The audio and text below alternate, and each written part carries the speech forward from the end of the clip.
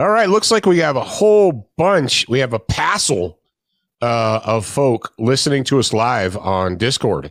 Good, good. You should be. Uh, we got. Uh, I'm going to go and admit something to you guys uh, in the show. It's been it was a hard weekend for me. Uh, I have friends, intelligentsia, um, who pay attention to the world and send me things, mostly videos, uh, sometimes articles, but mostly videos from Rumble and BitChute, and sometimes occasionally YouTube will will screw up and not censor a video um, with truth in it.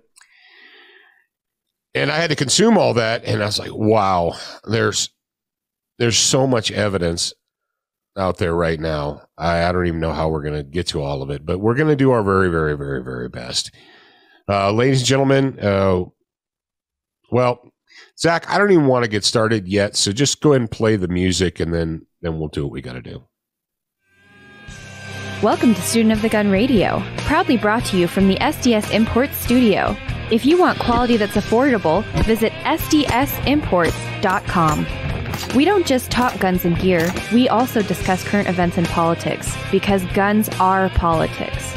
Now sit back and listen louder to your co host, CEO of Full 30, Jarrad Markel, and your beloved host, the pimp hand of America, Professor Paul Markel. All right, guys. Uh, step number one uh, if you're live and you have questions, go ahead and ask them. Uh, in honor of International Women's Day and uh, International Women Pandering Month, you know, that's the great thing, Zach and Jarrad, about having app television, whether it's because they're all the same, whether it's Hulu or Netflix or or um, Peacock or Paramount Network or whatever. If you ever if you ever wake up on the first or second of the month and you're and you think, oh no, I don't know which minority group we're supposed to pander to this month. Wh- which group are we supposed to pander to? Calm down. Just go turn on your app TV and across the top, it'll tell you which group you're supposed to blindly pander to. And I'll give you a hint it's not Caucasian men. it will never be Caucasian. The answer will never be straight white men or Christians. That will never be the thing. so if you're wondering, you're like, I wonder if this is Honor White Christian Men Month. No, the answer is no. It is not. Uh, but this March, you're like, well, what's March? Isn't October women's boob, you know, boob protection month or what? What do we call it? Um, Breast cancer uh, awareness month. No, this, it, there's another one. There's like the it's it has the the tit word in it. Protect it's, the teeth. Something like that. also, I don't think that's a censor word. I think we're fine. Um, well, if we have kids listening, we'll probably censor it. They're like, "Oh, what is that, mom?" Uh, no, there was there were um, there were last year they had stickers and patches, and it didn't it didn't say breast cancer awareness. It said, "Oh, can you you guys can't remember?"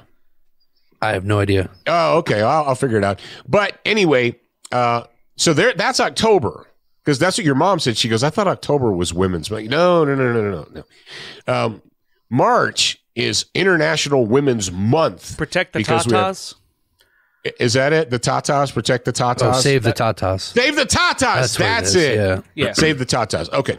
Um, but in order, we're not doing this episode from the kitchen because our microphones won't stretch that far. Um, so sorry. Uh, but we have for you, ladies in the audience, if you would like to be the apple of your husband's eye, and you say, I already am, say, okay, well, even more so. Uh, Miss Nancy wrote this cookbook it's called Ranch Cooking. It ain't freaking frittatas, and uh, it's filled with dinner recipes and and uh, snack recipes and celebrity recipes. Yeah. There's Professor Paul's Tactical Chili. There's the Ogre Burger oh, by yeah. Zachary. Spicy apple pork chops. Uh, tender beef short ribs. Fiery meatballs. Schmeatballs. Um, a pepperoni pizza soup, cheeseburger soup, I don't chicken noodle that. soup, loaded potato soup. Uh, you know what your mom? Oh, muffins, all kinds of good stuff. There's ton. This is just you want this book. It's Yeah. beautiful. It's full color. It was. It's written and it's signed by Miss Nancy. And uh, if you go over to the store at the shop SOTG, you can get it. Yep. Remind me, did I did I do that cover? No, your mom did. Okay, I couldn't remember. I think. Not the picture, but the design. Because mom, I don't think mom's ever used Photoshop a day in her life. Yeah. Okay. So And- give them the pint glass update. Yeah. Uh, just real quick, just so everyone knows, uh, to those of you who have already ordered one, uh, we're getting them now. Took a little bit. It's been taking a little bit longer to get them than I anticipated because uh, apparently the machine was broken, so he had to run a bunch of tat. Yeah, because COVID. COVID. uh, the machine, the, there was something wrong with the machine, so he had to use all the cups he was going to print on to do tests. So he had to order more. So uh, those are on their way. They'll be here soon. If you guys don't know what I'm talking about, uh, in addition to the return of the eight freaking Frittatas cookbook, we also have official SOTG branded pint glasses, which are pretty badass, if I do say so myself. Both are available can. on You can say that. shopsotg.com. They're both on the homepage, so you can see both of them right there. They're awesome. They're great. There you go. Uh, yeah. There you go. All right. So just All wanna throw that in there. Well, there you go. Thank you, Zach, for working so hard to give everybody cool deals and specials and all that stuff. Uh, and remember, if you guys have questions, throw them in there. Let's go ahead and move on to our Duracoat finished firearms section of the week.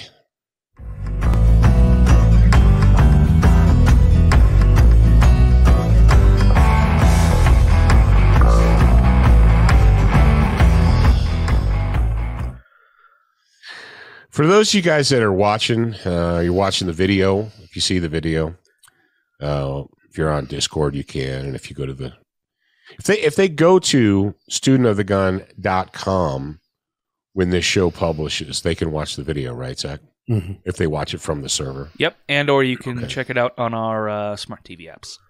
Okay. Uh, you see me shooting those guns in there. Those guns are all Duracoat guns. Some of them are d- guns that I did myself, and some of them are guns that uh, I sent off to Duracoat to have done. Uh, specifically, the red, the the the fire extinguisher gun, and um. Steve Lauer died last week. Yeah. It's rough. We've known Steve for a long, long time. In fact, I met Steve at my first ever shot show, and I remember that because he never let me live it down. Oh, he never let you live it down. How so? uh, that was I met him when I was very hungover, Oh, Uh, remember. and every year after that, he's like, "Oh, I'm surprised to see you're not hungover today." Yeah. You made an impression on him. I did. Steve He, uh, was- he he was impressed that I was there working after I had that much fun the night before. I after said, "I'm- after I'm seeing you dedicated. the previous evening. I'm dedicated to my Didn't, craft. didn't you? Weren't you on an elevator with him? Didn't you end up on an elevator? Is that not, isn't that how he knew that you had spent a little bit too much time being happy? I, I I think that was what happened. No, Yeah. we, I was coming off the elevator as he was getting on, oh, and I was uh, I was in the elevator with with a woman, and uh, there who is now my wife, by the way, who is now your wife or was not or your what? wife? I I don't think she was my wife, She wasn't your wife at the time. She was your fiance. my fiance. Yeah. Uh, that fancy French word. Holy cow! I can't believe we've been together that long now. Yeah. So Jeez. Steve was one of those guys that I was introduced to by another by another mentor. Uh, my friend Charlie, um, Charlie Cutshaw, who is not with us anymore. Uh, Charlie was real big into Duracoat, and this is years. We were still living in Ohio when this happened, and I went to a shot show. I don't know which one. It was way back in the in the uh, in the early two thousands. And uh, Charlie's like, "Oh, you yeah, you need to know, you need to know these guys." And uh, so I went over to the booth and I was like, "Hi, I'm Paul Markel." And Charlie Cutshaw says, "I need to know you guys." And they're like, "Oh, okay. You know, what do you do?" And, and I said, "Well, you know, write for Harris and so on and so forth." Oh, okay. You know, and we got to talking and and we became basically instantly friends. Started working together. Um, and uh, Steve sent me a kit, and this is way back before the Canon can technology. Uh, this was back when you you pretty much had to have an air compressor and airbrushes and all that stuff, you know. Uh, and of course, they sell all that. They don't sell air compressors, but they sell the brushes and the hoses and all that those things. And yeah, but and he sent me a template pattern, and I did the best I could. And I, I was like, "This is best I could do." It was my first job time, and he said, "Ah, that wasn't too bad, but we'll, we'll work with you." And uh, as time went by, they had he had a uh, they had a do it yourself kit, but you still had to mix. You had to, you, they sent you two things, and you had to mix them and and so forth. And uh, jeez, you remember the the NRA in Houston, Jarrad? How could you forget? Yeah. So at NRA in Houston, which was 2013, I went into the booth and I said, "Hey, I want to do some more projects." I said, "You know, you want to work with the I said you want to promote the the do it yourself kit?" And he's like, "No. Don't want to do that." He said, "I've got something coming that's going to make that irrelevant." I was like, "Oh." And then he told me about it. He says, "I was in Europe last year for IWA, and I met this guy that does a can inside of a can." Goes, it looks like a regular spray can, a normal can on the outside, but inside there's actually two cans. So you can put the hardener. If you guys know anything about Duracoat product, it's not just paint. See, because regular paint will just chip off and, you know, and the sun will bake it off and so forth. It's, it's cheap. It's inexpensive. It's cheap. That's what it is. Duracoat's not. So you, but the color has to remain separate from the hardener for obvious reasons because you can't store them together because they'll get hard. Uh, so Steve's like, it's going to be perfect. He said, I've, I've got to deal with this guy. He said, so just hold off. He goes, hold off on your next project. And as soon as the stuff's ready, I'll let you know. And I was like, Roger that. And it's, and to his word, you know, as soon as it was, uh, we got samples. And he's actually, he improved it over the years. He's like, no, this is we got it better. Uh, at, at, first, it was a three day. When you broke the seal, when you cracked the seal, you had, you had 48 hours to use it, and then it was going to be done, hardened. And then uh, they they tinkered with it because he was kind of the uber genius of that. And he's like, you get now you have a week. You still only have a week, but it, it doesn't. If you're smart, you don't need that anyway. Yeah, you know, because you line up, you you pre think out your projects but what Steve did was he took the high end gun refinishing and he put it into the hands of the individual person. Whereas before, if you wanted to do a high end, a really nice aftermarket finish on your gun, you had to send it to somebody, or you had to have air compressor and brushes and and all that stuff, you know, um, you know, and an air vac system and things like that. And so most people are like, ah, I don't want to invest in all that just to do two guns or whatever. And that's that is the that was the genius of Steve Lauer. Steve Lauer, uh, he he was an incredibly hardworking man he had several businesses. Uh, actually, I didn't even realize the breadth and scope of, of all the businesses that he had assembled and run and put together uh, until we were in summer of 2020 when we were there yeah, at the Duracoat shop. Uh, and the, here's the good news. You want to know the good news for you guys? You still can benefit from his wisdom. When we went uh, in the summer of 2020, in 2020, uh, we went uh, to Wisconsin and uh, we were part of the Duracoat University online course production. And it's it's done, it's ready, and it's there. And even though Steve has left us, you can still benefit from his wisdom. Uh, and that is a good thing.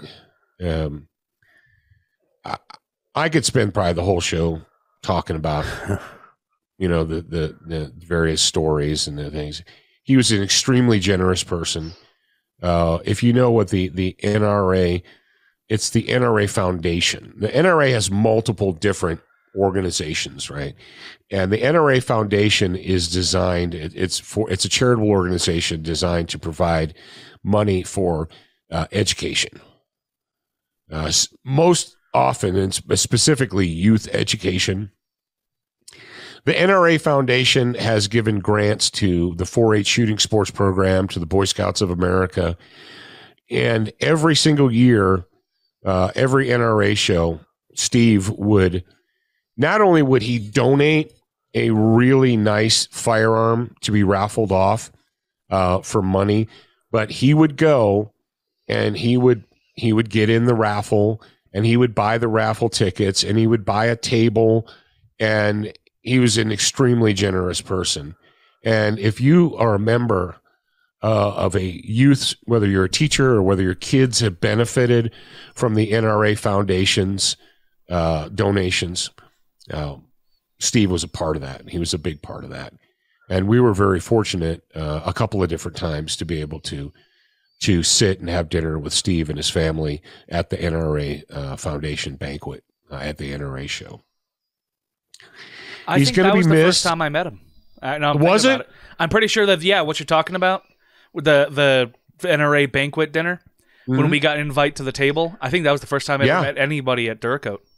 Oh, well, Now, now that you mentioned that, I'm like that was that was the first time I met them. yeah. Yeah. So uh, he's going to be missed. He was a great man, uh, uh, a, a genius when it came to his industry, and uh, we're going to continue. He's his journey has ended, but we're going to continue to support uh, and help carry on his dream and his mission.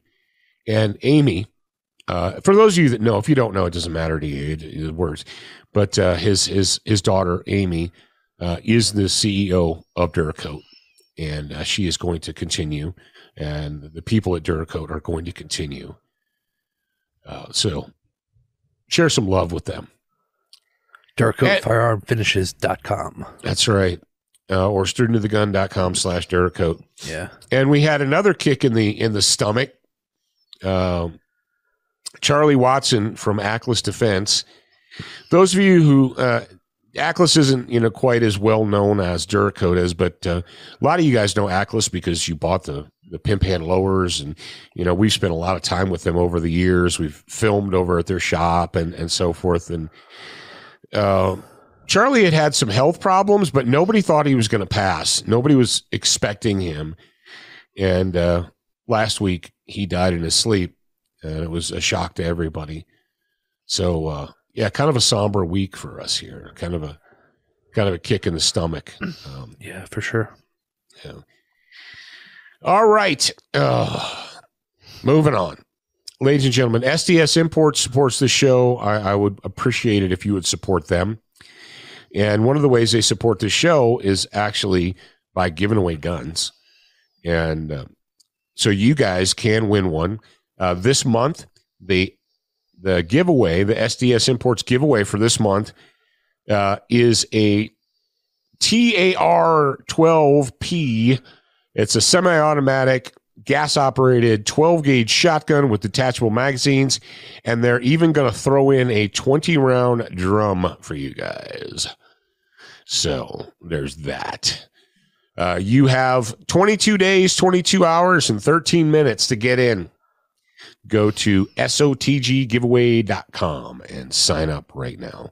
And make sure that you're supporting uh, our friends at SDS Imports. Oh, bollocks. I haven't talked to my friend Charlie over there. I'm gonna. I need to call him and ask him to make sure his health is okay. Because I don't. I don't need to be losing any more friends. Mother lovers, Oh, you yeah. need to not go. Yep. Uh, you need to stay. Uh, I stayed. Right. Yeah. I stayed. Uh, you need to stay too. So, uh, Zach, you want to go ahead and uh, uh, remind people, especially new listeners. Hi, new listeners. Hi. Hi. I'm glad you're here. Um, remind them what they should do. Attention, new listeners. We produced a complimentary online training course called Seven Training Tips That Could Save Your Life. Get instant access by joining the Student Lounge for free at studentofthegun.com. Do you watch Student of the Gun TV, read the blog, and follow us on Facebook? If you answered no to any of these questions, you are wrong. But you can easily fix yourself. Go to studentofthegun.com to find everything SOTG.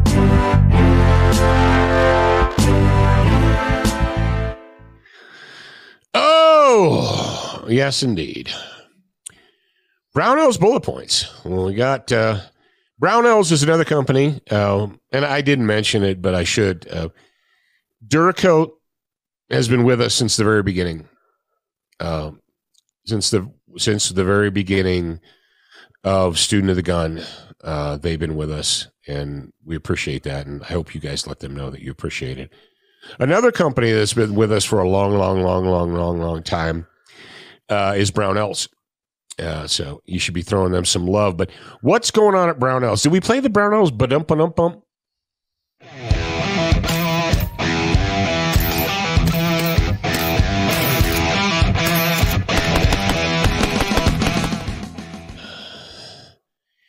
All right, bing, bang, boom. Uh, our buddies over there in Iowa, over there in Grinnell, Iowa.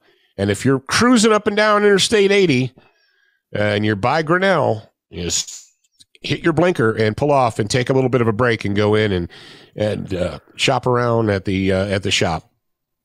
I went to the new products section, which is always fun, and they have NVG 40 dual tube night vision from AGM Global, and I was like, "Whoa, what the what now?" Uh, yep, a Generation Three Level Two night vision, uh, and they are not free, but they are available, uh, and you can you can order them directly from Brownells. So that is pretty righteous. That's pretty cool. And then, of course, once you do that, you're going to want to buy a helmet from Hardhead Veterans. Um, that's the official uh what a brain bucket company. The official brain bucket friend of student of the gun hardhead veterans. You want a bump guard? You need a brain bucket? Uh something to keep your your your noggin together? Uh, you know what we need to do jared and zach? And and i've been wanting to do this but it's been kind of cold and windy and yeah whatever. And i got to do it outside. Uh kind of demonstrate the importance of a brain bucket or a bump, guard. People are like, I'm not a crazy. What do you think you're going to do? What I'm going to do is I'm going to take Bob out there, you know, our buddy Bob, and uh, I'm going to put a helmet on. I'll, actually, before I'm not going to put a helmet on him at first. I'm going to take a beer bottle. I'm going to chuck it at his noggin in super slow mo. And then I'll chuck it at his noggin with a helmet on. A lot of people are out there like, oh, that's dumb. Why would you need that? Um, you know, a person with you, know, you got your super cool blaster and you got your Gucci gold triggered three thousand dollar Glock and all that, and you got a bare head and a moron with a half a brick or a beer bottle can take you out. What? No, I got this Salient Arms three thousand dollar AR. Yeah, and a moron with a piece of brick a broken piece of uh, cinder block or a beer bottle in a crowd 25 yards away and take you out by hitting you in the noggin with a freaking beer bottle or a half a brick. You ever think about that? No, you didn't, did you? You're welcome. You're welcome. I didn't mean for this to be a helmet talk, but are like, I don't need a helmet. I'm not stupid and paranoid like you. It's like, mm, you know, man, human men for 2,000 years have known we should put something around this. This is important. Let's put something around this to keep objects from crashing into it, you know. nah. Half a brick, not even a full brick. Yeah, not even a full brick. Actually, a half a beer bottle. A half a brick is better because it it, it fly it throws better. Yeah. If you take a regular brick and break it in half, it actually throws better than a, a whole brick. Yeah. Speaking Um, from experience here. Well, I'm just saying. I'm just telling you. Uh, and you're and um, you're like, oh, it's uh, just a, bo- a glass beer bottle thrown from the arm of a hu- uh, an adult human male into your noggin is gonna. I won't die. No, you, no, you might not die. You uh, you will die if a piece of uh, if a half a cinder block hits you in the skull. You will die. Uh, so why? How do we get to helmets? Well, because night vision. You got to you're going to get night vision. You got to have a, a thing. Um, yeah, and our buddies, I didn't even mean to mention this, but uh, yeah, the hardhead veterans guys, they have bump guards uh, and they have um, regular ballistic helmets too. Uh, so Brownells has night vision. It's in stock. They have new night. They have new models, and then they have the models that they previously had. And if you didn't know that, go to brownells.com and click on the tab new products. And if you haven't done that in a while, you probably should. You're like, oh, I didn't even know that existed, or I didn't know they had that. Now I do. And maybe I need one of those. I don't know. Maybe you do. Uh, and that's one of the things that I really appreciate uh, from those guys is that uh, they are constantly uh, filling the catalog with new products. And because it's hard for me, quite frankly, it's hard for me to keep up with all of the new stuff that's constantly coming out. Holy B A L L S. Holosun has an IR laser. They've got an IR laser that w- that mounts to a pick rail that you can zero. It's called an Elite IR collimated laser. So if you're one of those guys, you're like, hey, I got myself a, some NVGs, but it's kind of hard to to shoulder and you know my rifle with the NVGs. So I'm like, Jarrad, peas and carrots, peanut butter and jelly, uh, lamb and tuna fish. Lamb and tuna fish. oh, a, this this that percentage of the audience just got that. But uh, if you've got nods or NVGs, the new the young kids call them nods. The old guys like me call them NVGs. And you want to have the the slickest rifle setup on planet Earth, you just put an IR laser on it. And wherever the laser's pointed, that's where the bullet hits, and you can see it in complete darkness. And the pigs don't have a chance. And if you put a can on it, you got excited there for a second. Yeah, I did. You put a can on the end of that thing, and you go and you sneak around the brush in Texas, and those those big black blobs out there ripping through the soybean fields and rice fields and cornfields and stuff. Wacko. they don't. And the cool thing about night hunting hogs with suppressors is they not they're not sure which direction to run away to, so they kind of just run around in a big circle. Like, you kill hogs at night with lasers? Yes. Yes. You know the the whole Jarrad the the most fun you can have your clothes on thing we keep testing that. We're like, uh, 15 years ago, a buddy of mine, he's like, Oh, you never been prairie dog hunting? I was like, No. He's like, You got to go. It's the most fun you can have with your clothes on. I was like, Okay, good. And I went prairie dog hunting, and it was until I went up into a helicopter and shot pigs and coyotes from a helicopter. And I'm like, Okay, most fun you can have with your clothes on. Then we went to Texas, Jarrad and I, and we put lasers, IR lasers on our rifles and nods and suppressors. And we went out and we shot pigs in complete darkness with IR lasers. Yeah. We're like, okay, another most fun you can have with your clothes on. Oh, so, but wow, thank you. Uh, I know you guys are like, oh, Holosun, I'd never buy. Then don't. If you don't like Holosun and you don't want to buy one, don't. But here's the deal. This is an IR laser module that you can zero attach to a pick rail for it's $349 on Brownells. I don't know. I don't know tell you. That's crazy because IR lasers, like modular IR lasers, that you know, so forth. Oh, previously, pretty pricey about you know grand or more. Uh, so this might be something you might want to get into. I'm just saying. If you don't want it, you don't need it. But if you, it's kind of like one of those explaining sex to a virgin things, Jarrad. People who never used night vision and shot and engaged targets with night vision, they're like, yeah, I mean, that shows whatever, you know. But then when you do it, you're like, oh, yeah. it's like seeing for the first time. You're like, now I get it. Now I get it. I think that one of my favorite things about the night vision hunt that's different from being in a helicopter is how quiet and just amazing it is. When Oh, you're- yeah. you're just sitting out there in the middle of the night, and we were in Texas, so there's just wide open sky with stars and everything. It was amazing. Stalking Uh, obviously, you piggies. can't. Yeah, you can't get that in a helicopter because it's loud and whatnot. Yeah. But two different types of fun. Stalking up to them piggies in there. And that That's- happened to be. That's the cool thing when you cattle. get when you get close enough to them and you can hear them because Oh, they're yeah. over there like and there's always one that's that's pushing the other ones around. Yep. Nasty animals. ah, and then the last thing I'm going to say during uh, the Brownells bullet points is this. Um, thanks to the criminals in Washington D.C., uh, ammo's not going to get cheaper. Uh, if you're waiting, you're like, ah, you know, I've been watching prices, and they, eventually they're going to come down to where they were in 2019, and then I'm going to buy a bunch. It's not going to happen.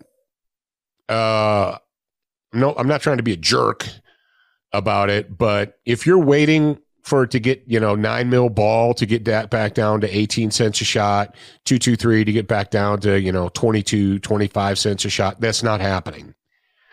And the, eh, the criminals in Washington, D.C. are going to do everything. Well, inflation, supply, uh, poking the Russian bear with a stick, seeing what he's going to do. Um, it's not coming down. If you need ammo for a gun, whatever flavor it is 270, 22 Hornet, I don't know what you're shooting. If you need ammo for a gun, because guns pretty much are worthless without ammunition, right? Unless you just want to have an expensive stick to hit people with. Uh, if it's available, I'm noticing that uh, the the off calibers, you know, the not the nine two two three seven six two, but the weird off calibers, they kind of come and go. Uh, if you find it and you need it, I'm not telling you to mortgage your house, but here's the deal: if you think I'll wait six months and it'll be more plentiful or cheaper, that's not happening.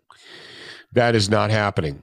Uh, so if you need ammo, if you really need it, buy it. Shop around, do whatever you need to do.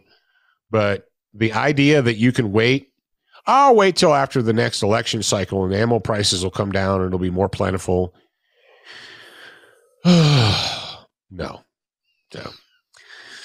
Uh, I know Nostradamus hat here. Nostradamus hat. Remember back in February of 2019, and I told people if you need ammo, buy it now. Remember when I did that? Because the price is only going to go up.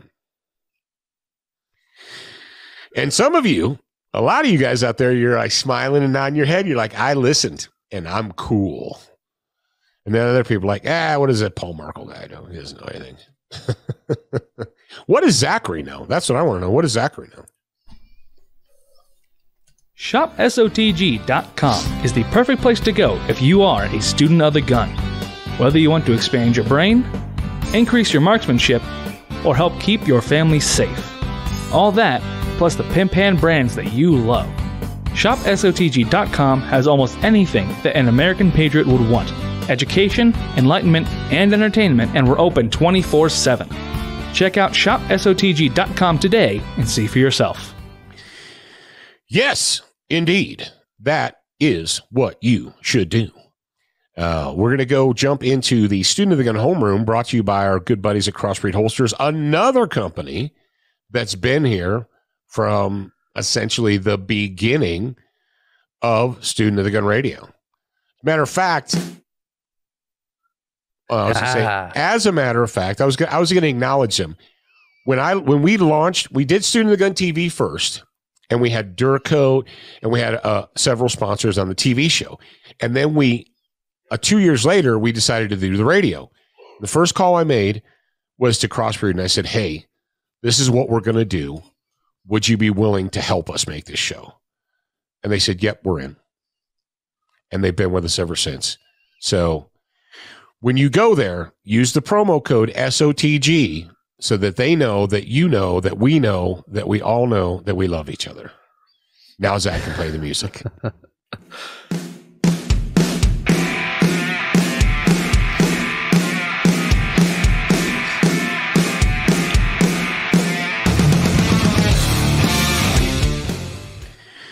All right. Thank you, Madison Rising, for Dangerous, the theme song for the Student of the Gun Homeroom, Dangerous on Demand, DOD. You guys have heard me yakking about.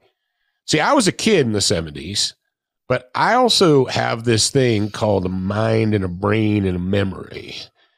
I've been paying attention my whole life, right? Now, during the, the 70s and 80s, there were lots of movies about New York. There was the Warriors movie, right? That was probably one of the most famous movies about New York in the 70s. Uh, with the the the territory, the whole entire city, all five boroughs were carved up into gang territories. Now, it wasn't as colorful as the movie The Warriors, but the truth of the matter is, um, in the 70s, New York was a shithole.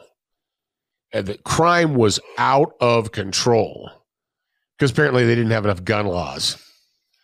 Um, but in the late 80s, into the 90s, Rudy Giuliani came in and he cleaned up the city. He's like, look, this, we've had enough of this crap. Cleaned up the city. Uh, got rid of the the street crime, gentrified it, and you know, and Rudy wasn't responsible for gentrifying it, but it but it became, you know, coffee shops and high end brownstones and all this stuff, right? Well, then you mongoloids in New York City, the the Democrat mongoloids uh, who inhabit that uh, place, decided let's put a communist in. Let's let's make a communist the mayor. So you did. You installed. Then they put in Bloomberg. Bloomberg's not a communist, he's a socialist dictator. Uh, Bloomberg is a scumbag hypocrite. How's that dictate? So, yeah, he had that dictate in his mouth. So, um, yeah, Bloomberg, you're like, you know what? Bloomberg was a was a socialist tyrant, but let's go full communist. Okay. So you put in uh, a full full on scumbag communist as your mayor. And I've had people say, well, I don't think New York's that bad. I mean, is it really as bad as you say it is? Well, I don't know. I don't know. You tell me. Uh, we got a story from ammoland.com, and it just dropped on March 7th. So it's a pretty new story. Jarrad, would you help us out? What's what's going down in uh, the Big Apple? Says horrid attack proves New York subways not sensitive places. This is a pretty long article, and most of the details are at the end. So I'm going to try to hurry up for you here. okay. says since the District of Columbia, Columbia versus Heller decision in 2008, gun control advocates have parsed every word of Justice Scalia's opinion for ways in which to continue their campaign against the Second Amendment. Relying upon creative interpretations of dicta, these activists try to twist the landmark gun rights ruling into an endorsement of their anti gun policies. An example of these efforts is on display in the NRA supported case New York Rifle and Pistol Association versus Bruen. The case concerns the validity of New York's discretionary carry licensing regime, where the law enforcement is tasked with determining if an applicant has quote unquote proper cause to carry a firearm for self defense. In the Heller decision, Scalia stated, quote, nothing in our opinion should be taken to cast doubt on laws forbidding the carrying of firearms in sensitive places such as schools and government buildings, end quote. Gun control advocates have advocates have seized on the sensitive places language in an attempt to lend legitimacy to blanket restrictions on the right to carry for self defense. Yeah. In their brief defending the May issue licensing regime, New York argued New York's law is a historically grounded approach to protecting sensitive places of the type that every state, the federal government, and this court have recognized the need to safeguard. The reply brief from NYSRPA correctly noted the plaintiffs do not challenge any of New York's many separate laws prohibiting handguns in specific sensitive places. They contest New York's effort to treat virtually the entire Empire State as a sensitive place and to prohibit petitioners from carrying their handguns for self defense virtually anywhere. This battle surrounding sensitive places loomed large in the briefs. Moreover, a particularly supposed a particular supposed sensitive place was repeatedly invoked by the state, New York City's subways. These are not sensitive places. We'll get to the Hmm. Oh no, yeah, yeah. The state's brief cited subways as sensitive places. Moreover, during the November 3rd oral arguments, the New York Solicitor General Barbara Underwood endorsed the notion that subways are sensitive places. In posing a question to Underwood, Justice Samuel Alito said, None of these people has a criminal record. They're all law abiding citizens. They get off work around midnight, maybe even after midnight. They have to commute home by subway, maybe by bus. When they arrive at the subway station or the bus stop, they have to walk some distance through a high crime area and they apply for a license and they say, "Look, nobody has told, nobody has said that I'm going to be I'm going to mug you next Thursday. However, there have been a lot of muggings in this area and I'm scared to death. They do not get licenses. Is that right?" And then Underwood, defending New York law while responding to Alito, in part stated, I think the extra problem in Manhattan is that your hypothetical quite appropriately entailed the subways, entailed public transit. And there are lots of people on the subways, even at midnight, as I can say from personal experience. And that particular specter of a lot of armed people in an enclosed space.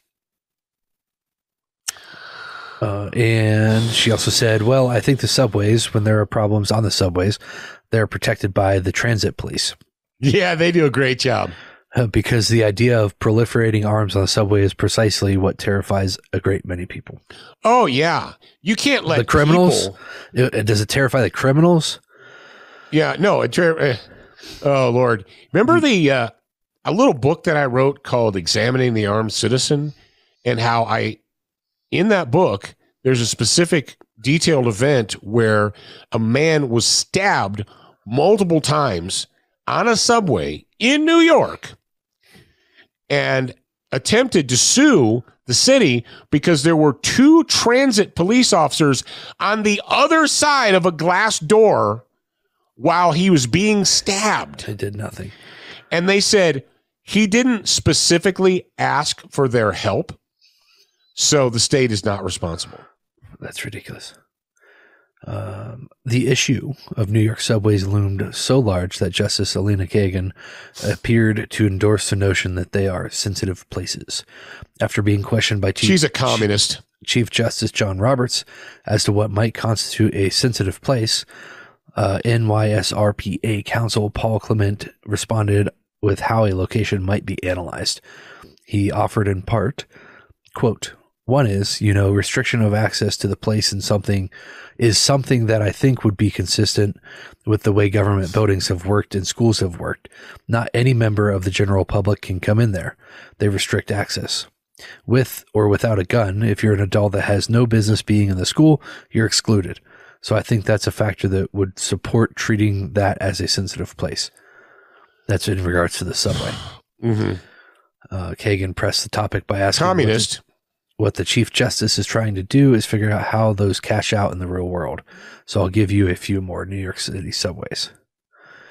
Um, the notion that, and we're getting to the crime here. It's Yeah. a pretty disgusting thing, but Oh, the notion that New York City's subway system is a sensitive place under any conceivable definition of the term should be absurd to any person who has had the displeasure of using it. The utterly filthy structure frequently plays host to the most outrageous scenes of crime and human degradation. However, a recent incident illustrated just how non-sensitive the New York subway system is, in fact, and made it clear that the state of New York doesn't consider it a sensitive place in practice. According to police, on February 21st, a 43 year old woman was on a bench in a subway station in the Bronx when a man approached her. The man was carrying a plastic bag filled with human excrement. When he pushed it into her, Which into the he woman's, pushed. Oh, which he pushed into the woman's face. And an account from the New York Post stated that the man smashed the vile contents of the bag in her face and then smeared it on the back of her head. The entire attack was captured on video. Police arrested the alleged attacker on February 28th, and he was arraigned on March 1st. and released immediately. th- this gets really ridiculous. The, fur- the further we go, the more angry you're going to be. While he was detained, the suspect reportedly joked about his alleged crime. The New York Post res- reported that he told the police, uh, crap happens. Haha, this is a crappy situation. Haha. Yeah. The Post also noted that during his arraignment, he snapped F you, you B-I-T-C-H to the judge and referred to the victim as a B-I-T-C-H. Despite the atrocious nature of his alleged crime and outrageous courtroom conduct, the suspect was released without bail. Without bail. what? Thank you, New York, you stupid moronic scumbags. Uh, It's, it still gets worse. Oh, it's, days- it's worse? Oh yeah, two days after being released, this it gets way worse. Two days after being released, the suspect was rearrested on hate crime charges stemming from anti-Semitic assault last September. So this was prior to the poop bag, the crap bag. There we go. According to the post summary of the charges, the suspect allegedly spat on a Jewish man as he chased him down a Brooklyn street, screaming, "Come here, you effing Jew! I'm going to kill you." The suspect was again released without bail. A further investigation of suspect's criminal history showed that he had 44 prior arrests. 44 prior arrests. Four. And then WABC reported authorities say that the suspect has a history of transit related attacks.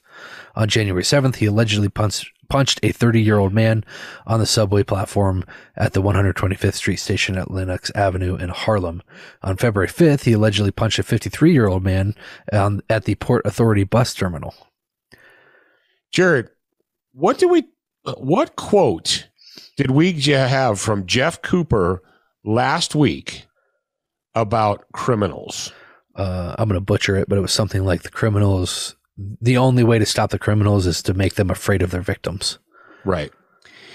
Uh, I'm going to pull it up so you guys can remember. If this is Jeff Cooper, if violent crime is to be curbed, it is only the attended victim who can do it. The felon does not fear the police.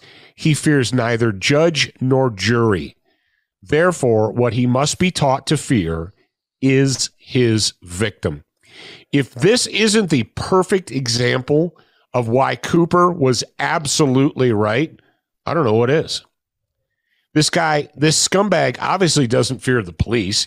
He doesn't fear being arrested. He doesn't fear the courts. Why should he? 44 prior arrests.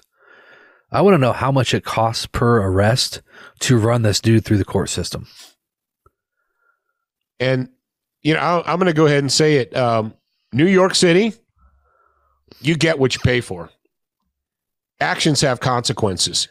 You put Democrats, socialists, and flat out communist in charge, and this is what you get. And I don't feel sorry for you. Sorry, I don't. The whole basis of this argument is unfounded anyway because we have if we've if you guys have been paying attention to the grad program we've been studying this political thought of the American Revolution book which we're going to finish today on Uh, the yeah. Friday episode On the Friday episode, yep. But this whole argument is baseless because the purpose of the government is supposed to be to defend individual liberty, And, And secure protect- the rights, secure the natural rights of man. not to take them away, not to hand them out like candy, not to charge you for them, not to hold them hostage. And we're talking The purpose about of government is to secure your rights as an individual. yeah, and and we're talking about in this thing we're talking about uh trying to ransom your rights back to you is what they're Yeah. And it's even worse in New York because it's it's a May issue. So you have to get on your knees and beg for permission. Just I, I got a question. Does this this piece of human excrement uh We in can New York a bag of human excrement. this bag of human excrement does does he is he begging the uh the state for permission no no all right moving on. We got other fish to fry here. So that's your student of the gun homeroom. Some people are dangerous on demand and some people are just helpless victims because they vote for democrats. We have got to at some point in time uh stop acting like puppets eh, that are so easily manipulated by the media it dumbfounds me, Jarrad, that people who, if you asked them, what do you think about the COVID crisis, and the and they would say, oh, pandemic, and you know the CNN and the NBCs and the you know they all push this and they pushed the fear campaign and they they manipulated us. And you say, oh yeah, right. And I changed my Facebook status to Ukrainian flag. Why? Why did I hate Putin? Why? Because the media told you to? Did you? And this question is, you know, people started putting masks on. I asked, I would say, what mask did you wear during the swine flu? What, what are you talking about? What mask did you wear during the bird flu? Uh, I, I didn't. What mask did you wear during SARS COVID part one? Because we've already had SARS COVID in the United States. What mask did you wear then? I didn't. Oh, so you didn't wear a mask during COVID part one, SARS part one. You didn't wear a mask during swine flu. You didn't wear a mask during bird flu, but now you are. Why? Because the TV told you to? How about thinking for a second? So, how did you feel about the Ukraine crisis last year? You didn't think anything of it, did you? You didn't give one fat rat's rear end last year, did you? How about when uh, the Russians basically annexed Crimea? How did you feel about it then? Crime what? Crime, uh, I don't know what you're talking about. That happened Exactly. uh, like 2012 or I think it was 14. 2014. Um, what'd you think about that? Uh, I don't know. Uh, but Ukraine is a is a wonderful. They're a, a land of freedom and democracy. They are. Didn't the current president put his political rival in prison? What? No. What? Maybe. I I have no idea. I have no I have no idea. Um, and you know what's funny, Jarrad, is Putin brought up the neo-Nazism in and people are like, there's Nazis in America. You think that Russia should invade America to denazify us? Um, there aren't Nazis who control entire regiments of the army in the United States. Have you seen the, the video from the the uh, the Ukrainian youth camps where they're doing the Heil and the Ukraine Uber Alles? Yeah, those are out there. They have that? Yeah. Well, no, they're a wonderful place for democracy and freedom and liberty. Really? Is that true? Did you know that Ukraine, um, in order to minimize the uh, uh, the effects of Russia, made speaking Russian illegal? They passed a law telling you if because a good part of the western part of Ukraine are Russian descendants and they speak Russian. They're like, you're not allowed to do that anymore. I didn't no. No. They're free. They're they love freedom. They're they're like they're like America in 1776. Ukraine is like they love freedom. Do they? You don't know. You have no idea. All you know is that the TV told you to hate Russia and to hate Putin. And I'm not saying you should love him, but the idea that you should blindly just oh, you you know, uh, the yeah, about uh, the freedom fighters. Really? How about America? All these people that changed their Facebook status over to the Ukrainian flag, what have you done to fight for freedom at home? All of a sudden, the left, okay, when George Soros, Hillary Clinton both tweet about the need for the America to intervene in Ukraine, that's when I hit the brake pedal with both feet. When CNN and MSNBC and the New York Times all jump in and start screaming about we need to intervene in the Ukraine, that's what I'm, I'm going to hit the brakes hard. No. So what you're telling me is you believe that CNN has been lying to you about the COVID pandemic for two plus years. You're like, yeah, they, I know they've been lying. I know they've been carrying the water for the administration. I know that. And so they start telling you what's going on in Ukraine. You're like, yeah, yeah, yeah. You don't think they're lying about that? Oh, no, they wouldn't lie about that. Hey, Zach, how many Hello. false flag propaganda operations have been exposed in the last week? At least like seven. If, if you really want to open your eyes, the the Miss Ukraine takes up arms to fight Putin. Lie. That didn't happen. The the ghost of, of Kiev shoots down six Russian MiGs. It was you know why they had to pull it down, Zach? Because, Because the was the video, video game, game- company that Yeah. owned the footage threatened to sue them. Yeah. It was and and they're like and the the father crying as he says goodbye to his daughter getting on a train. That was a Russian soldier. That was a picture of a Russian soldier leaving. That wasn't a Ukrainian. Oh, really? Yeah. Stop being so easy to fool. You say, well, this is new. And this is when you say, well, this is all new. We, we- we've never had to deal with state sponsored propaganda to try and get us into a war before. Really?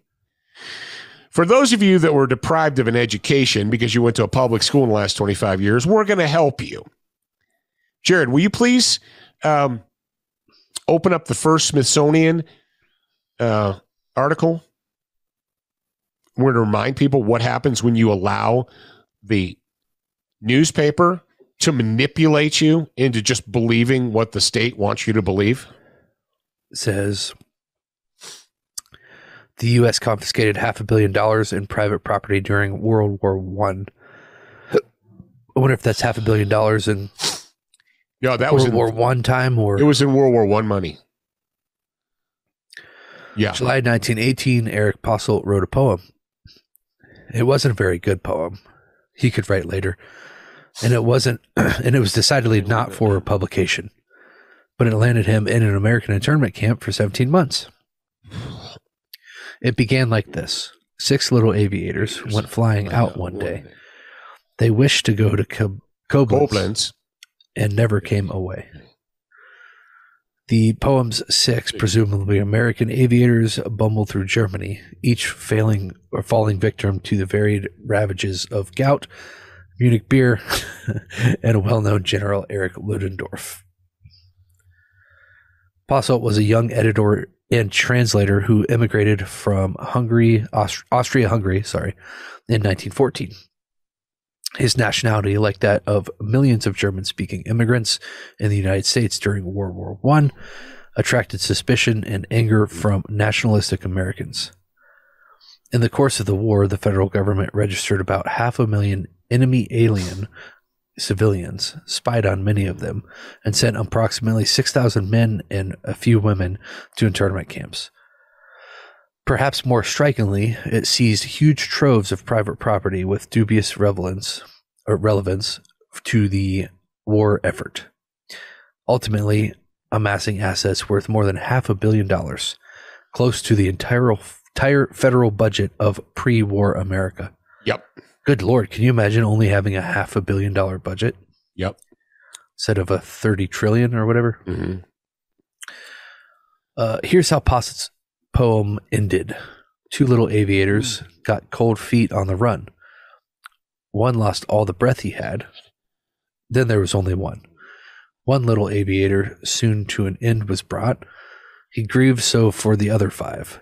He too, at last, was caught. The Department of Justice, which found this poem during a search of his home, was not amused. It is far from being a joke. Read an internal report from the Bureau of Investigation, a precursor to the FBI. hmm There are now too many good American boys giving up their lives in the aviation department to have an enemy alien attempt to make a joke out of it. There is no excuse for writing this poem, and there can be no excuse offered. All right. So let's just go ahead and pause right there. What happened to the First Amendment? What? Yeah. So uh, in 1917, 1918, the Bill of Rights was suspended. The Bureau of Investigation just decided to throw someone in an internment camp for writing a poem of which they did not approve. Ladies and gentlemen, this isn't Russia. This is not the Soviet Union in 1927. I think that they this were is probably, the United States of America. They were probably going to throw him in there anyway because to to find the poem, they first had to Yeah. search his house. Oh yeah, keep well keep going. It says that his house had been searched multiple uh, times. Oh, I thought that was the last of the story. no, no, no. Oh, it these keeps going. ads. Dang, they got me. It's like a. a Look at the cartoon that that was that was in the New York Herald. The enemy menace is hovering over New York. Jeez. Federal agents had been looking for a good reason to arrest Posselt. They'd searched his home around a dozen times in the year prior. Wow. Yeah. What what whatever happened to the Fourth Amendment Yeah. Doesn't count. Doesn't matter. Now that they had one, they sent him to Fort Oglethorpe, Oglethorpe. Georgia. Or Oglethorpe, Oglethorpe. There we Yeah. go. Fort Oglethorpe, Georgia. One of the main, the four main internment camps built during the war. Even after they found the poem, though, they didn't charge him with any particular crime. Posselt is not, this is a quote from a report. It says, Posselt is not accused of any conspiracy, but is only accused of guilty knowledge. He is, that is freaking alarming. That's psycho. That's 1984 stuff. And this He- is the United States of America. It said, and then the report continued. He is very bright in his writings, and might cause trouble if released. He might cause trouble. This is ridiculous. He has he has thoughts of which we do not approve. Uh wow. So Congress passed Dang, I need two to read the bills. rest of this. Mhm. I, I won't do it now, but I just I didn't know that there was more to this story. Yeah. All right. So uh, essentially, what? And you say, all right, come on, Paul. First of all, you didn't know about this, did you? Because you weren't taught in school that in during World War One, you thought that internment camps started with FDR. And if you're a Democrat, which you're not because you're listening to me, um, you say, well, yeah, but that only was a one time thing and that never happened before or after. And it's not that big of a deal. I mean, because it was just the Japs, right? Um, folks, Woodrow Wilson, the president of the United States during World War One, was a full blown progressive socialist. Everything that happened to these German Americans, what happened to the Bill of Rights? That's crazy. So the government seized their declared a state of emergency and seized their property and threw some of them without charges into an internment camp. Uh what? Yeah, bet you didn't know that, did you? The right of the people to be secure in their persons, papers, and houses and effects against unreasonable searches and seizures shall not be violated. Um, no person shall be deprived of life, liberty, or property without the due process of law. Well, I mean, unless it's an emergency and there's a Democrat in the White House, then we just throw that in the garbage um, and just let it happen. Now, my question to you is do you not think that the people of the United States of America knew what was going on? Were they able to to seize all this a bill, half a billion dollars worth of property and round people up and send them to internment camps during World War One without anybody knowing about it? And you say, "Well, no." Well, n- I will say, it is a lot easier to know about things nowadays. Like like nowadays, if if this were to happen in Georgia, people in New York would know in 15 minutes. Yeah. Well, So- here's the thing: this guy was taken from where he was found and put on a train and sent down to Georgia. The reason that the people of the United States looked the other way and didn't push back was because a the human condition of well, it's not me. You know, they came for the they came for the socialists, they came for the union workers, they came for the Jews, and when they finally came for me, there was no one left. Okay. Probably propaganda too. the oh, 100% propaganda. The reason I mentioned this cartoon, this the enemy among us, was because that was common.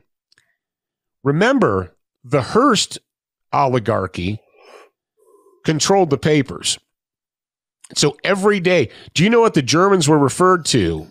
How they were referred in World War One? What was the slang? Krauts? No, the Huns. The Huns are at the gate. The Huns are coming. The Huns, they used to put pic, you know pencil drawings in the papers of of Hun soldiers and it was it was said that the Hun soldiers were bayoneting babies. They were killing babies and they were monsters. And so throughout all the papers the German Huns the Hun is coming. And it was propaganda. William Randolph Hearst was a master at propaganda. If, if you want to look at things, look for just put in your favorite search engine the Hun or Hun propaganda. German soldiers were, with spiky helmets were portrayed as monsters and butchers who were bayoneting babies. So, and your neighbor who speaks German, well, they're just as bad as that guy over in Europe who's bayoneting infants and children. You have to beat back the Hun. And if that means giving the government extra constitutional power, well, then that's what we need to do. I mean, there's a war on. Haven't you heard? We can't be clinging to this Bill of Rights and this Constitution while there's a war going on. Did you boys just look up the Hun posters? It was some hardcore propaganda. And that went on every day in the United States. And your idiot relatives and your idiot, you know, our idiot relatives, our, our ancestors, they when when German Americans were being rounded up and sent to internment camps, when the federal government was seizing their property 100% illegally. They they looked the other way. They looked the other way or they endorsed it. Or they're like, "Yeah, screw those Krauts. Screw those Huns. They're they're the enemies amongst us."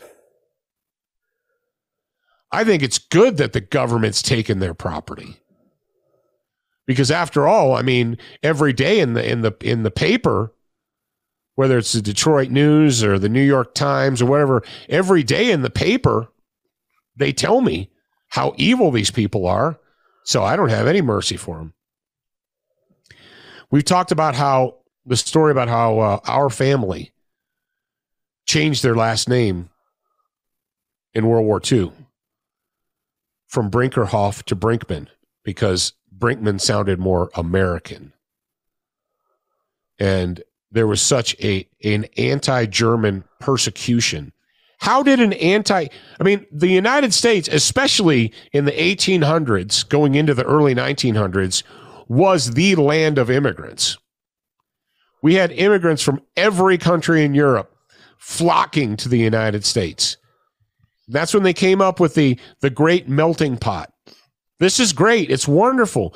We have immigrants from every country in Europe coming to the United States for freedom and liberty and opportunity. And then 20 years later, they're all Huns. They're enemy aliens. You need to allow the government to seize their property. And if they don't cooperate or if they have dangerous ideas or they write a poem, lock them up.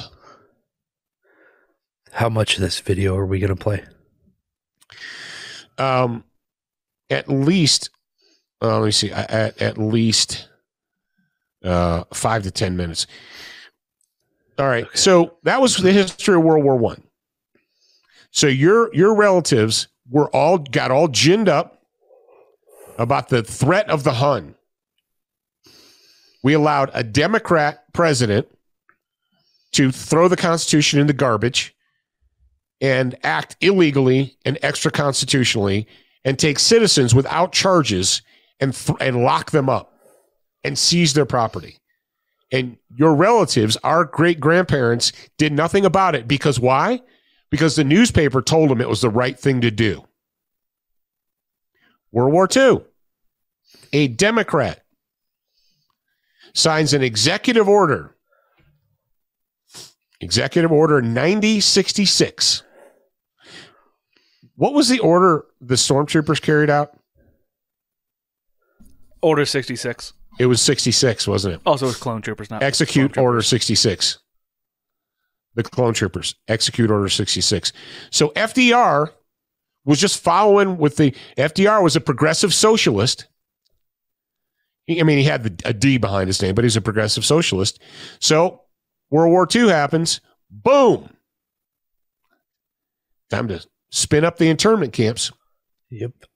Now, you ask Democrats about this today. They're like, hey, how do you feel about those internment camps?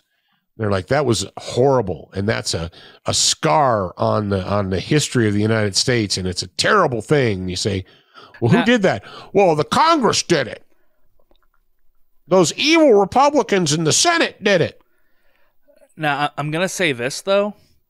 I don't know if they would say that because until we started talking about this like three months ago, I didn't know this this had happened. Until You you, brought it to my, I did, and I did not know that there were American internment camps in World War One and Two Oh, until you started bringing them up. So I well, if feel you like ask you someone my age, what do you think about internment camps? well, They're like, yeah, terrible, horrible, a, an abomination. We owe those people reparations. Okay. And you say, how did it happen? Oh, the Congress and the Senate were filled with evil Republicans and they all voted for it and they passed a law. No. No. How did the German Americans have their property stolen and end up in internment camps? Well, it was an executive order from old Woody Wilson, progressive socialist. So fast forward a couple decades. Why did the Americans think it was okay for their Japanese neighbors in California, Washington, Oregon to be rounded up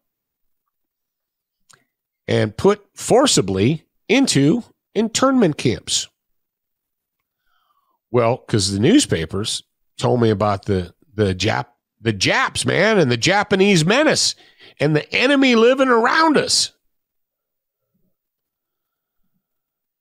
And it was all done by a progressive socialist president using an executive order.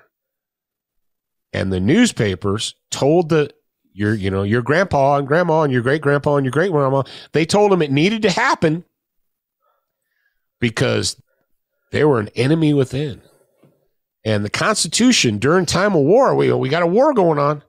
Now, do I need to remind you that Wilson used our involvement in World War One and our um, the fact that they spent all of the federal budget and we were broke to push the 1919 income tax law, income tax bill? What? Yeah. You see, there was no individual federal income tax until Wilson and World War One. And they sold it as like, well, I mean, you love your country, right? Oh, you you hate your country? You want to pay your fair share, right? Don't worry, it's a tiny, small, infinitesimal amount. Just give us the authority to tax you so we can pay off the war debt. We'll pay off the war debt, right? Uh, okay. What happened to that? What did we fail to learn? No tax ever goes away and it always gets bigger. Once you let the camel put his nose under the tent, he's not going to back out. He's just going to keep coming in. Woodrow Wilson, the progressive socialist piece of human garbage, pushed us into most Americans, you guys don't realize because you weren't born and your parents weren't born. Most Americans, this is that's a, my note to remind you guys, uh, did not want to get involved in World War One and we had the Monroe Doctrine, and they said, "Hey, that's not that's not our uh, our circus. Those aren't our monkeys. We don't need to be involved in that." But Wilson wanted us to be involved in the war, and he pushed and pushed and pushed and pushed till finally he got us in the war. Then the war ended, and he said, We're broke. We spent all that money winning the war, and you love your country, right? And if you don't allow us to pass the 19th Amendment, which was never properly ratified, but that doesn't matter, um, then you hate your country, right? And it that was the excuse to institute a national federal income tax that heretofore did not exist. And this is when you go, oh, I didn't know that. Jarrad, in, were you taught that in school? No. No, of course not. You can't teach people that in school. All right. So, two instances of American citizens being abused by their government while their neighbors stood by and watched because the media, the newspapers, and the radio told them that their neighbors were bad people. And you love your country, right? If you don't if you don't get behind the Washington DC narrative, the Huns are bad, the Japs are bad. Uh, if you don't get behind that, well, you're not an American. So here we are, open book test on history, and we're failing it again. Zach, this video uh, is extremely important. This is a professor at the University of Chicago. And uh, you need to watch, you guys in the audience, the link's in the show notes. You need to watch the whole thing. Watch, it's the last like half hour's Q&A, but at very least, watch the first 45 minutes. Zach's going to start it.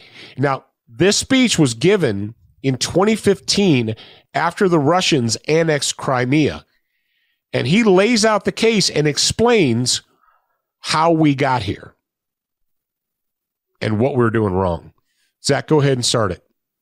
Conventional wisdom. Conventional wisdom is that Putin is the main cause of the crisis. Some say he's either crazy or irrational. Angela Merkel was making this argument for a while. He's bent on creating a greater Russia, and he bears marked resemblance to Adolf Hitler say a few words about each of these. Uh, I know a great deal about Adolf Hitler. I've written and I teach extensively on uh, uh, Nazi Germany's behavior in the 30s and during World War II. The idea that he bears any resemblance to Adolf Hitler is laughable in the extreme. It's hard to believe that serious people make that argument. Uh, the idea that he's bent on creating a greater Russia, I think if he could do it, he'd do it. He can't do it.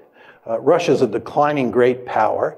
And as I said to you before, if they were to try and create a greater Russia by invading Ukraine and by invading the Baltic states, they'd be jumping into the briar patch. In fact, again, if you want to wreck Russia, what you should do is tell them to try and create a greater Russia. Uh, it will lead to no end of trouble. I think Putin is much too smart for that, and he is in the process of wrecking Ukraine. I want to make that clear. And he's wrecking Ukraine because he's basically saying to the West, you can't have it, and I'll wreck it before you take it. Is he crazy or irrational? I don't think so. Uh, I think he's very strategic. Uh, and I don't think he's the main cause of the crisis, as I said to you. Another set of arguments associated with the conventional wisdom. This is that the United States is a benign hegemon seeking to promote European stability, seeking to promote stability in Asia, all over the globe, and so forth and so on. There are some countries like Japan and Germany, for sure, Poland, who view the United States as a benign hegemon. There are many countries out there who do not. Iran is one, China is another, and Russia is a third. They just don't see it that way.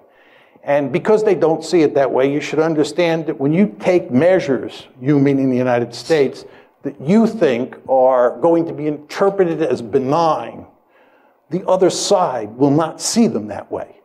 They will see them as threatening. Uh, this gets back to my point about democracy promotion.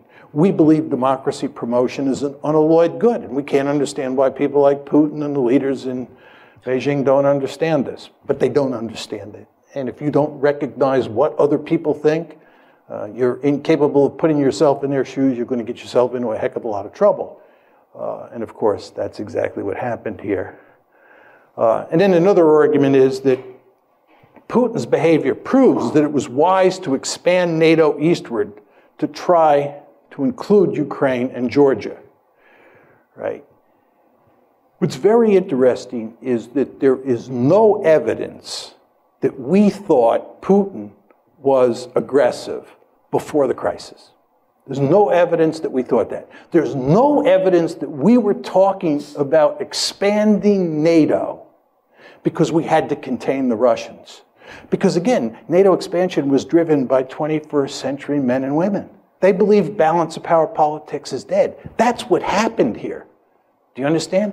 Putin is a 19th century man, right? He does view the world in, balance of power in terms of balance of power politics, as do we when it comes to the Monroe Doctrine in the Western Hemisphere. But in this case, in the case of Europe, we were thinking like 21st century men and women. And we thought that we could just drive right up to his doorstep and it wouldn't matter, right? We did not think that Russia was aggressive. What happened here is that after the crisis broke out on February 22nd, we then decided that Russia was aggressive. We then decided that Russia was bent on creating a greater Russia. It was after the fact. And by the way, this is why President Obama and virtually all of Washington was caught with their pants down when this crisis broke out after February 22nd, because they did not see it coming talk a little bit about our response. We're basically doubling down. Uh, we're getting tougher and tougher with the Russians. That's our strategy. Uh, and that's exactly what you'd expect if you're going to blame them, given that we're incapable of blaming ourselves because we never do anything wrong. You all know that. All the problems in the world are caused by everybody else, never by the United States, because we're a benign hegemon. Well, if we're the good guys and they're the bad guys and they're misbehaving, they're bent on creating a greater Russia, oh my God, this is the 1930s all over again. Any sort of concession to Putin is Munich, October 1938. Can't do that. So what you do is you double down. You get tougher and tougher. Uh, then this brings us to the question of whether we can succeed or not. My argument is you're playing a losing hand, right?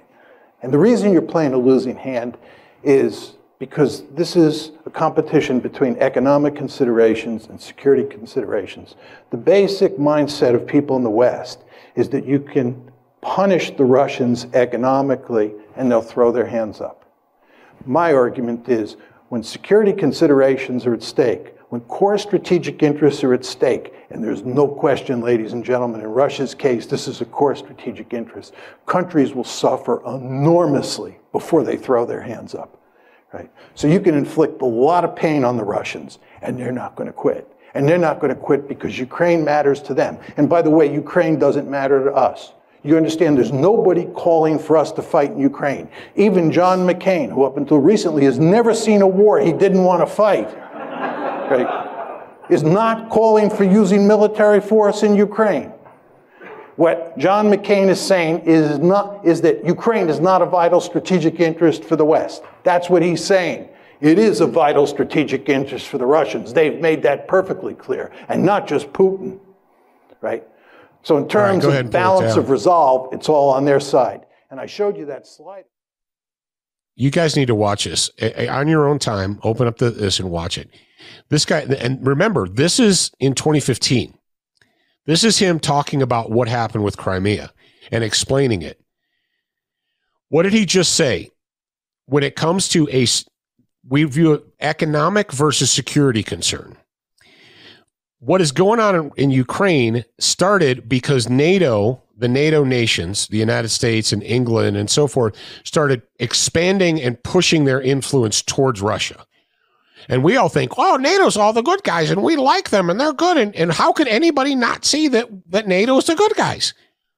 Russia doesn't see, uh, Russia and the former Russian states, Belarus and the Ikstans and all that, they don't see NATO as this hero and the savior.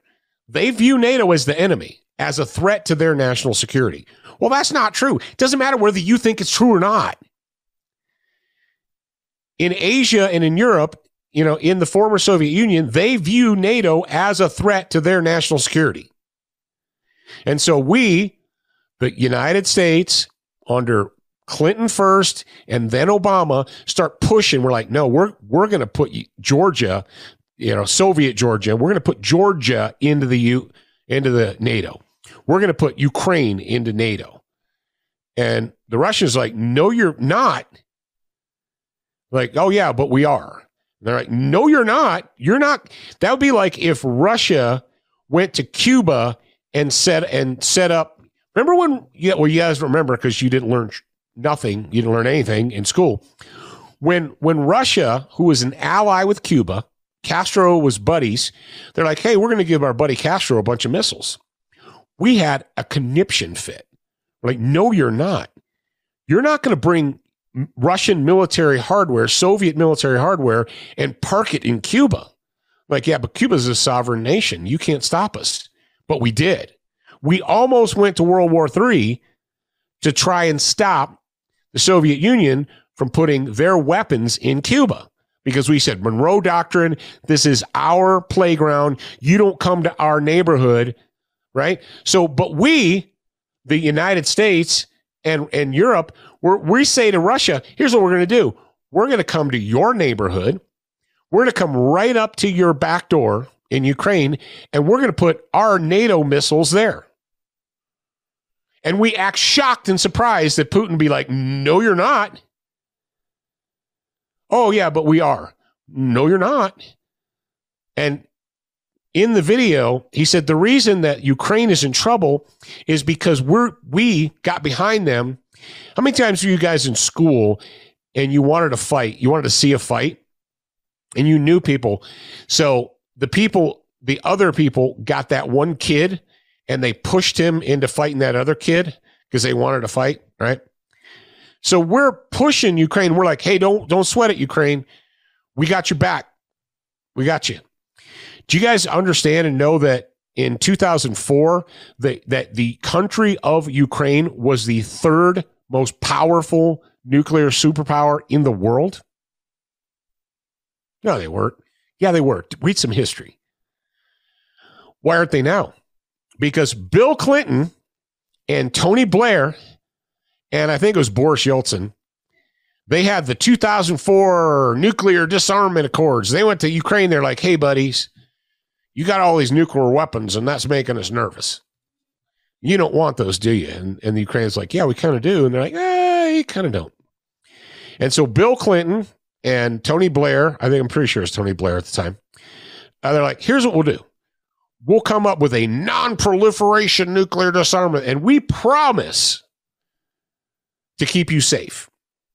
And we'll give you economic opportunities and we'll openly trade with you if you will only surrender your nukes.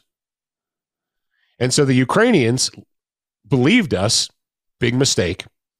They listened to us, big mistake. And they're like, okay, we agree. And they gave them up. But who'd they give them up to? Where did the Ukrainian nukes go? Jarrad, Zach, do you guys have any guesses? The Jarrad, Russians. Yep. so Ukraine in 2004 was the third largest nuclear arsenal in the world. More than China, more than England, more than France. And we, Bill Clinton and Blair and whoever was in charge of Russia at the time, I'm pretty sure it was Boris Yeltsin, convinced them to give their nuclear weapons to Russia because they told them, hey, if anything ever happens, we got your back. We'll protect you from outside aggression. No one will ever take advantage of you because we we're there for you. Whereas if Ukraine would have just kept its nukes, they wouldn't be in the problem that they're in right now. You're not supposed to know that though. You're not supposed to know that Bill Clinton that the West talked them into disarming. You mean disarming and, and, and relying on someone else to protect you is not a good thing? But it worked out great in New York. Let us take your guns and don't worry if you need someone to protect you. That's what the police are for. You see, like on a grander scale, what we do, we make promises. Don't worry, just surrender your guns and arms because guns are bad, nukes are bad. Don't worry about it we have the, the American policeman will take care of you.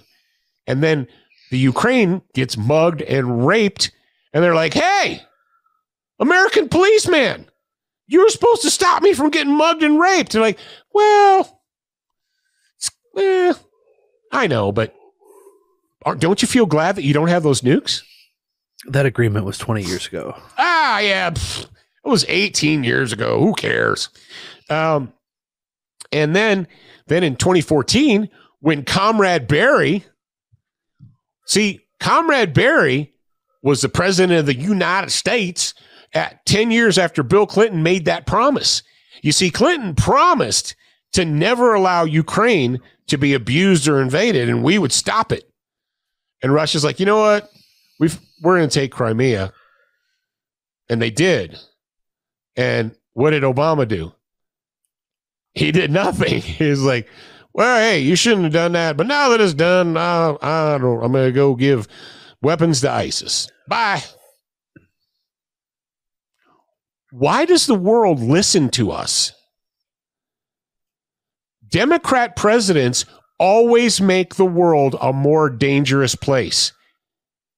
Do, do I do I need to point this out? And so my point is this to you guys in the, my audience who've all changed your Facebook profiles to the Ukrainian flag. Before you get on the the we hate all Russians and let's dump out the Russian vodka and blah blah blah blah blah.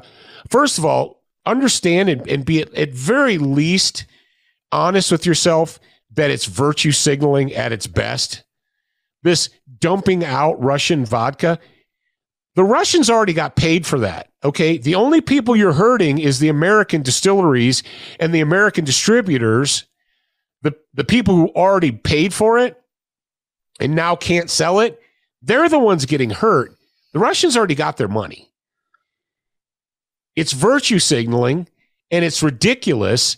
And we've got so many, we've got a literal dementia riddled meat puppet calling the shots in Washington or being told by a, you know, deep state or whatever what to do.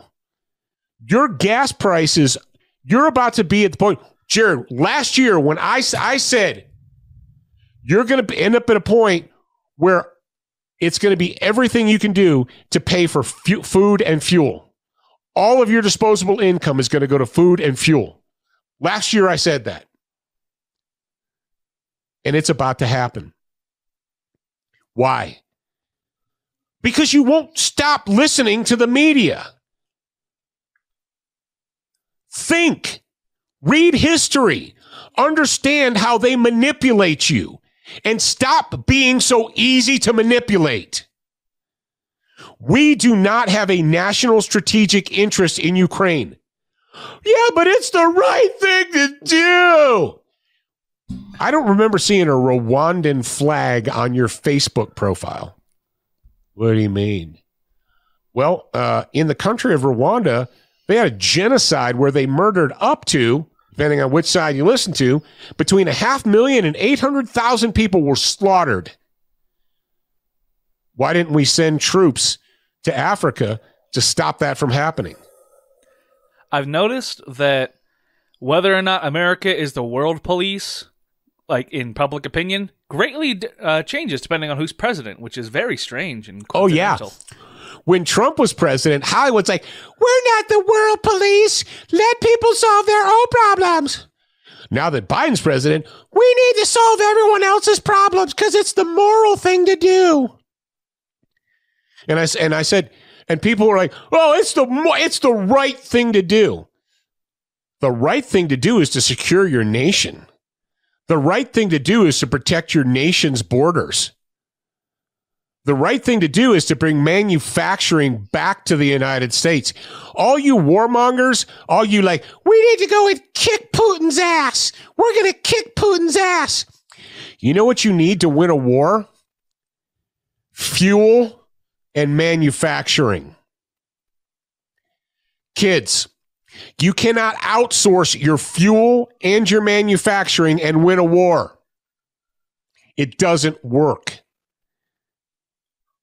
we don't produce enough fuel in, on on purpose. Do I need to remind you that we were had so much fuel that we could export it under Trump, and now we don't have enough, and we have to beg other countries for it? Where's our manufacturing, kids? Well, Trump was bringing it back, but he's he tweeted mean. Trump was a mean tweeter. So, yeah.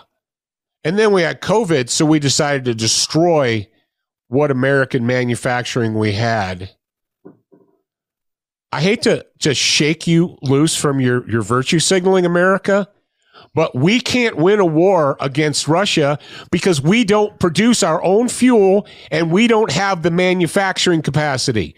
Do you understand that? And that situation took place because you were weak and spineless and you allowed a dementia puppet to be installed into the White House.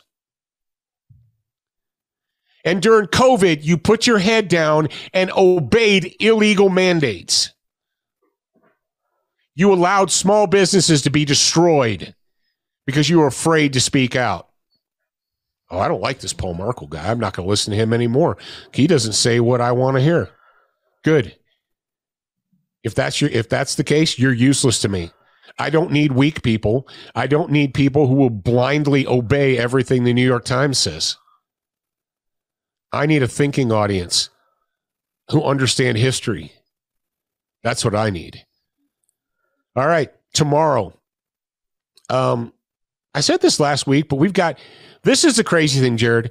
Last week we talked about this and then two more stories popped up that proved me right. I'm like, well, we're going to have leadership trait for you guys tomorrow. We got a fighting fitness for you guys tomorrow. And American police, and if you wear a badge and a uniform, you might want to pay attention to this. They got a serious image problem. And I'm going to tell you why tomorrow. And then on Friday, we've got, uh, we're going to get into Klaus Schwab and BlackRock.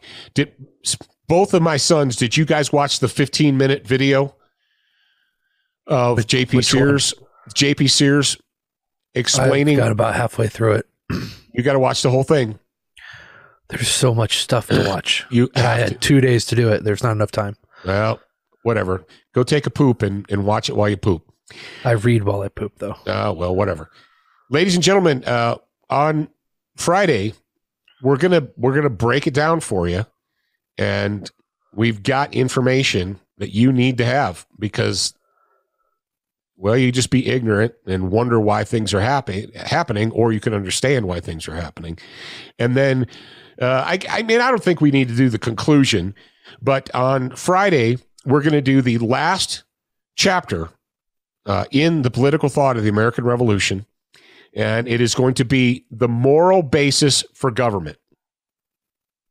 Uh, you guys, so get your books and get ready for that. All right, that's it for today, kids. Thank you very much for being a part of the Student of the Gun audience, and uh, thank you for showing some love uh, and care to the uh, Duracoat family during this hard time, uh, and, and of course everybody else who makes this show happen.